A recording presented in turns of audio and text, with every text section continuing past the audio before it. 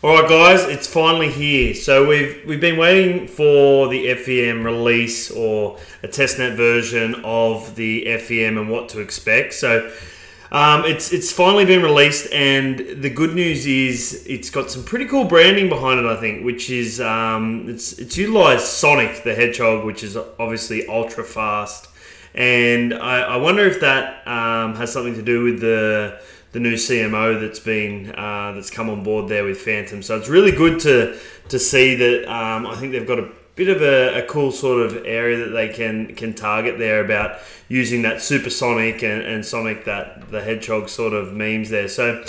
Um, good news is, and, and I'll just skip straight to what we all want to see, and that's the transactions per second, 2100 there. So that's it's pretty impressive as opposed to what we're used to there with 21 um, transactions there per second. So that's uh, some of the big stuff to note. There's obviously the, the database storage, things like that. So there is some big improvements here. But I want to more get in and show you what's going on, show you what's happening here on the closed um, tester here. So here they've got a, a Fantom Sonic closed version, and my understanding is that it's it's just running repeatedly with what they think is a good mix of transactions that they've pretty much come accustomed to seeing on the on the FTM network, but they're utilizing that to then give it a good test and see how it goes. So so there we are. We're running at 2043 transactions per second.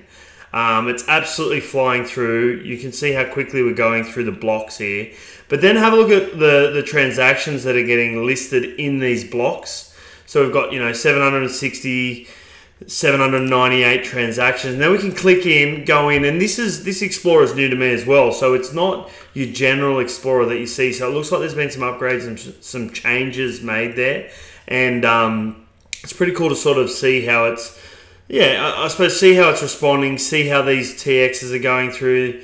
Um, what types of transactions are going through. Then you can dig a little deeper, you can go in. But these are the transactions that are occurring that are, that are preset, so to test the network.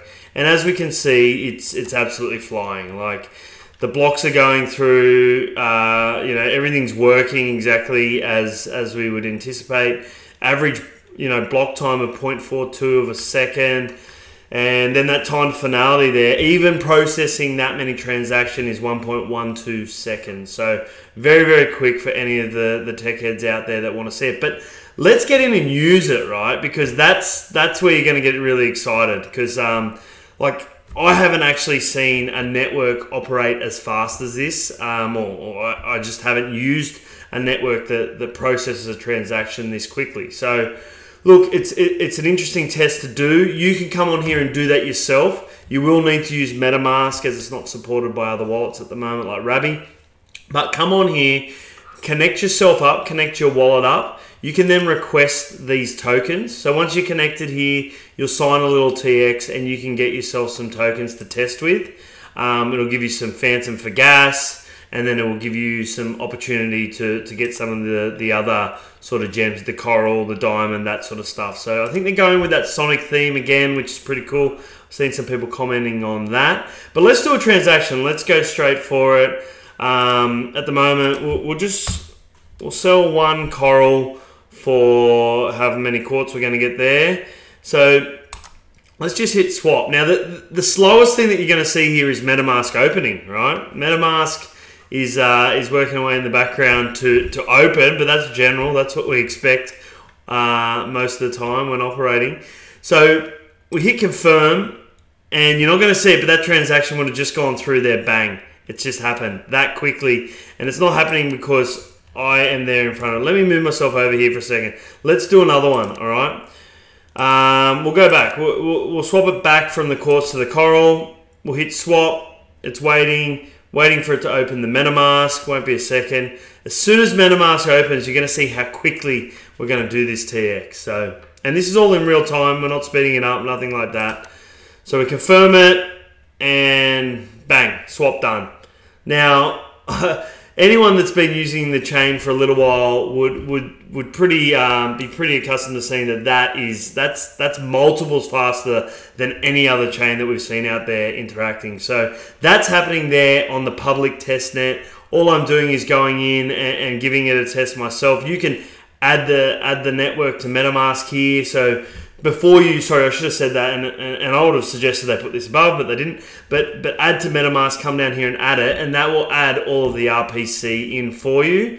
And then from there, you can then request the the tokens that you want. Okay, so you will need to just get the network set up. So just add to MetaMask. That'll help you add the the network, and away you go.